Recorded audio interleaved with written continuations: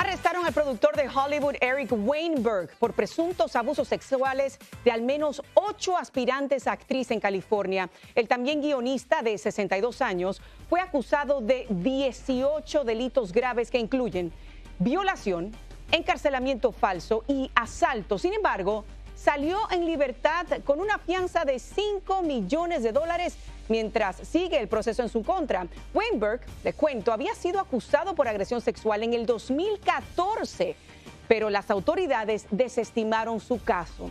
Una nueva acusación desató una vez más la investigación en su contra y aquí les vamos a mantener informados.